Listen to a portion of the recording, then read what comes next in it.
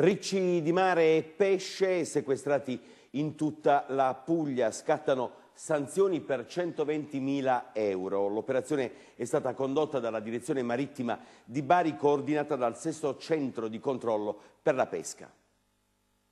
Una task force di uomini e mezzi delle capitanerie di Porto Pugliesi hanno controllato punti di sbarco, centri di distribuzione, mercati ittici, ristoranti e pescherie. Un'operazione per contrastare la vendita di prodotti ittici da parte di venditori occasionali e la pesca abusiva esercitata da pescatori non professionali.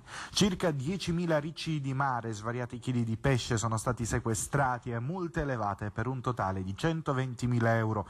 In sei sono stati sorpresi a pescare nelle aree marine protette di Porto Cesario e Torre Guaceto, nella zona di Conversano sorpreso un commerciante a vendere tonno rosso spacciato per comune tonno pinna gialla, peraltro già scaduto e quindi inidoneo al consumo umano.